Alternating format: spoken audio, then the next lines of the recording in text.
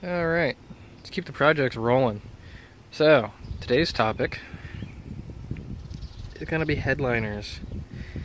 My headliner has seen much, much better days, and uh, it's gotten a lot worse over uh, recent months. So, first, we're going to have to take out the entire uh, upper board here, and um, since this has a rear hatch, it'll just come right out the back, so this is easier than most cars. Yeah, all we gotta do is take off all these trim pieces, and they're all just a bunch of Phillips head screws.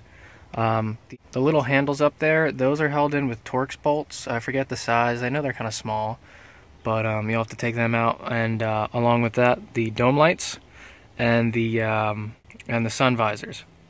Alright, let's start all the way at the front of the vehicle. Um, you're going to have this big long strip here that's going to have to come down. You might not have to remove this section down here, but um, in order to get this out, there's two little plastic uh, covers that you have to pop out, like these. Just grab yourself a pick tool and just fish it in there and pop it out. You're gonna have Phillips head screws. I already took this out once and I was smart enough to not put this one back in because it's hard to get to. Uh, in order to get to that, um, you either need some kind of flexible joint to get in there, or what I used was a little right angle screwdriver that looked like an Allen key but with a Phillips head on it. That one got that out. But we can take this one out and then start working our way down the line.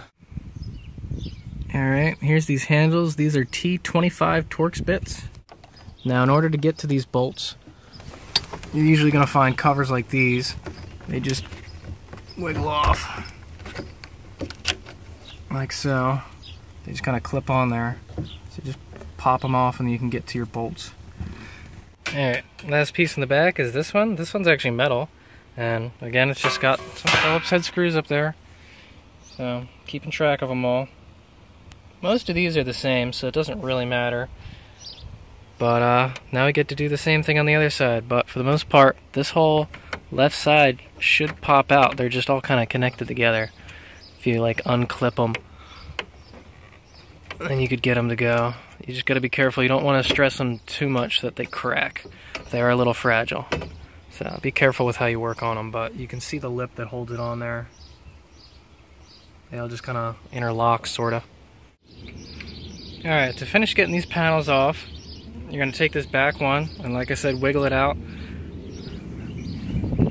And then come over here, and you're going to work it out of this little crevice right here and then pull it and then split it apart. They just pull apart, They'll slide into each other.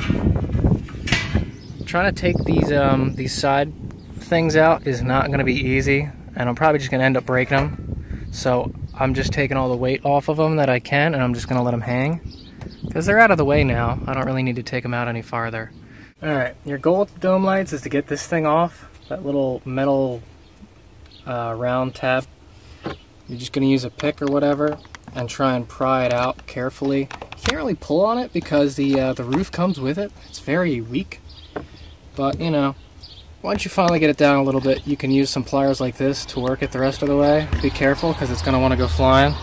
And these are really important if you ever want to put the, uh, the dome lights back on, so don't lose them. Once you take out both sides, it'll come out.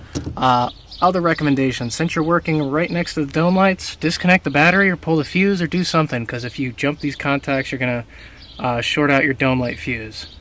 So, battery's disconnected right now, so let's take that other one off. With both those out, this just comes hanging down now.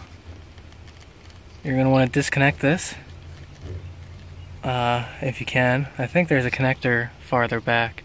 Actually, no, you can just disconnect here and you'll be fine pop that out and then you can uh, you're free in the back.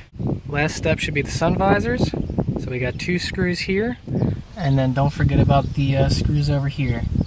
When you can't figure out why your uh, your sun visor doesn't come off it's because there's three screws. One of them's just hiding. If you have lighted um, sun visors you got one more step. You got to disconnect these two wires so if you come right in here, you can see these two. There's two connectors back there. that you just have to unplug and then you can run the wires through the top. Alright, I forgot that uh, that side over there is cracked, so I didn't have to remove that one, but this one I did. You got two screws here and then one screw there that holds it to the bottom panel. And then you gotta take off the, uh, the support, which you can just wobble off. Make sure to hold the hatch, otherwise it'll fall on you. And you can just take it right out. Now we should get to everything that we need to get to for the headliner. You notice all these clips that hold it in place. It's got to get off the clips, I guess, and pull backwards. Alright, I finally got some goddamn movement with this thing. This is a pain in the ass to mess with. It's so fragile. Um, right now, I was having issues with these clips. They're usually at 90 degree angles, but I bent it down so I can get it around because it just feels like it's stuck on everything. Now, these things, they could come out if you wanted to, but it's not easy. It's just two little marks like that, and I guess there's a tab in there that holds them together. That's what holds them in place. So that's a pain in the ass. But you just gotta work it down and around everything. And it's held in the front by something, I'm not sure what. I don't know if it's sticky or what, but I'll find out in a second. Aha, found it. So it uses Velcro. But whether or not the Velcro will actually let go for you is a totally different story, and I'm guessing no, because it just ripped the, the fucking uh, the liner off instead. But it's all free. So, now we can pull this headliner out through the back.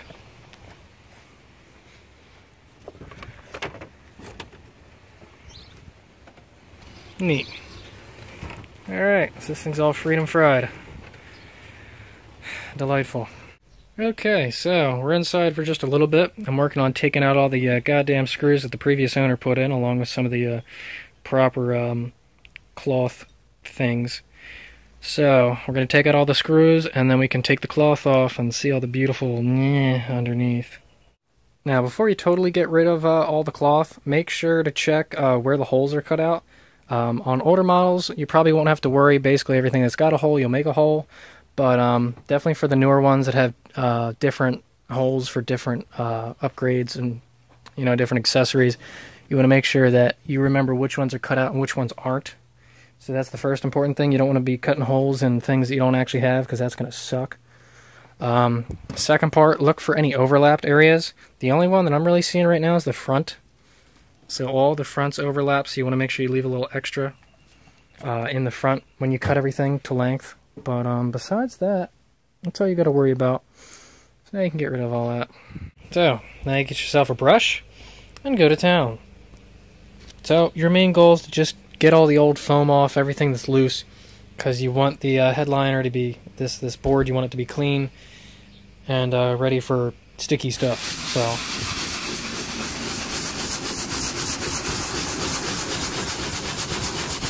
Just trying to work all the old crap off.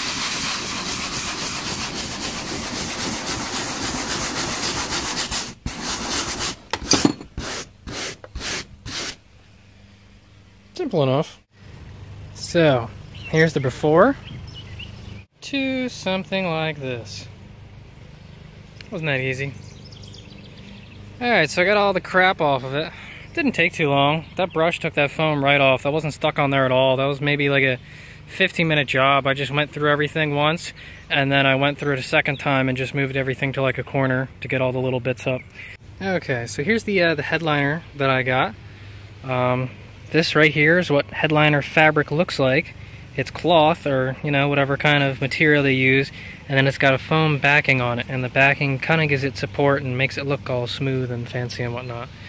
So, I ordered this from WLS Headliners. It's just a company online, and they actually had uh, kits that were specifically made for uh, SUVs. One of them mentioned was a Cherokee. So I figured, sure, why not? For 60 bucks, you get three yards of uh, fabric and um, a spray can of the 3M uh, headliner adhesive. So here's my original fabric here, and here's the stuff I picked up online. This looks a little bit darker, but remember this is also dirty and, you know, faded throughout the years, so I figure for going online, I think I matched the color pretty well. And I don't really care if it's perfect, it's a fucking Jeep. Get over it. Lucky I'm going this far. So, let's take this over to the headliner board, lay it out. Okay, so we're going to take our headliner and lay it across the whole board. the easy way and the proper way to do this is to center uh, all your cloth on your board, and then what you'll do is take half of it and flip it over and do one half at a time. So, you know, you don't sit there and spray the whole board and then try to get it on there because it's just not going to end well. So just do it in halves. It'll make it easier. It'll turn out a lot better in the long run. So we're going to fold this half over. We're going to do three coats. You're going to go two in one direction and the third in the other direction. Um, and then do the, uh, the back of the foam. And then we'll let this sit for five minutes or whatever to tack up. And then we'll lay it on.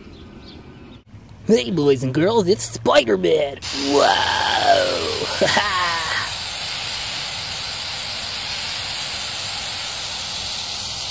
So I'm on can number two now. I used the entire can on that. I found out, I think I got the spray pattern a little better now. You're supposed to hold it closer.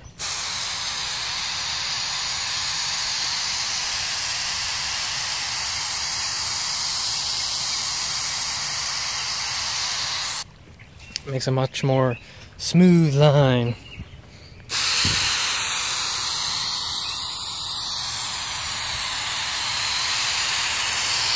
Alright, so it's been about five minutes, so let's flip it over and see how it goes.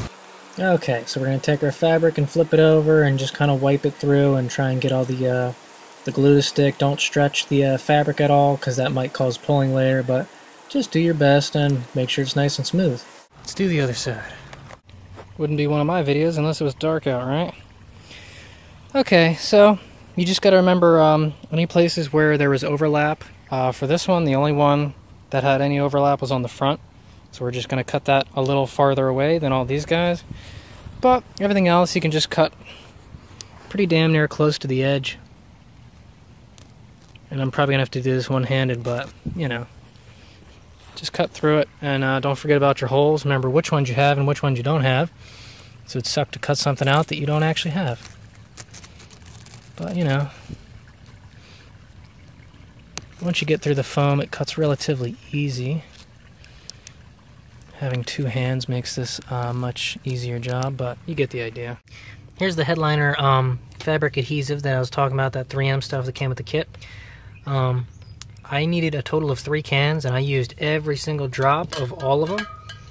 I don't know if I put it on a little too thick or what, but one can just isn't enough at all. So you know, be prepared to at least get two. If you buy the kit online that I did, order at least two and make sure, you know, if you got an auto parts store that has something like this or something similar nearby, or if you have something that you prefer, then buy that instead. But I needed three cans of this stuff with how heavy I, I was putting it on, so just be aware of that. Alright, sorry I had to cut short last night. Bugs were getting terrible, but here's the finished product. It's kind of hard to make these cuts look nice. That stuff does not want to cut. But that's all hidden by trim, so I'm not worried about it. And the front's wrapped. So it looks all nice and pretty now. All the holes are cut. I cut them a little small just in case. I don't know how much whatever uh, covers is covering. This might get cut a little more. I'll have to look into it, but that's pretty much it. So now I can put this bad boy back in. Alright, so we got the headliner sitting in the back of the truck now. So, um, first we got to get those clips off and uh, bend them back into shape. Alright, see if I can't put these clips back in, hold it up.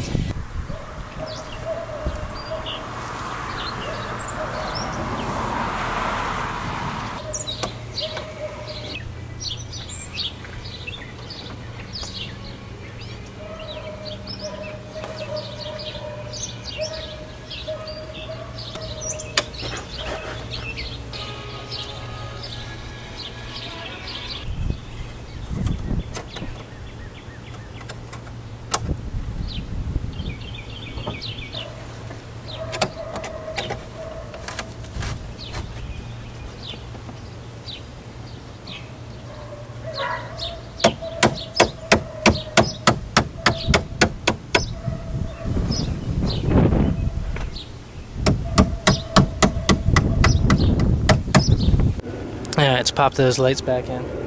We're to reconnect our connector here. Make sure that all the pins and everything come through.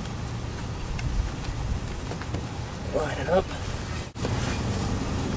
Then take one of your pins and push it in. Ah. And do it again for the back.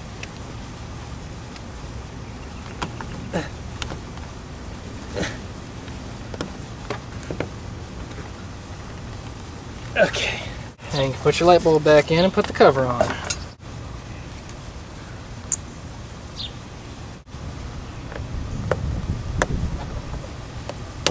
Look at that, huh?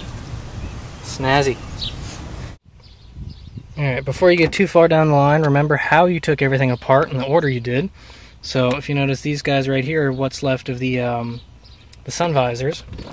Uh, with the electric sun visor, the powered one, you gotta make sure you run your wire back here and connect it. So, you know, don't tighten any of these panels if you have those because you're gonna have to run back here and connect them. But after that, you throw them screws in, you put these guys in, and then your sun visor's all done. Ain't that snazzy? Looks a little shitty now, because that was all the uh, the grinding marks from when I was working on the floors, but the color matches pretty well. It's not terrible. Makes sun visors look like shit, but whatever. When installing these uh, grab handles, make sure that they go on this direction instead of this way. Because if you mount them like this, every time you get out of the truck, you're going to hit your head on it. You're going to piss off all your friends. Ask me how I know that one. So, they go in like that. And you tighten down those two T25 Torx bolts, and you can pop those little covers back on.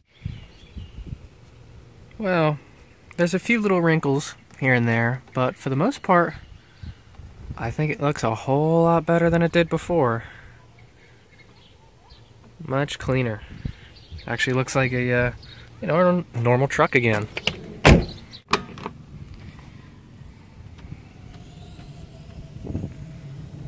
So, I think it turned out pretty good for, uh, you know, a first timer. There's a couple wrinkles here and there, but, um, you know, all in all, it's a hell of a lot better than what it used to look like. And that's all that really matters, right? So there you go. That's my little kind of sort of how to, how not to do your headliner. So, yeah, cool.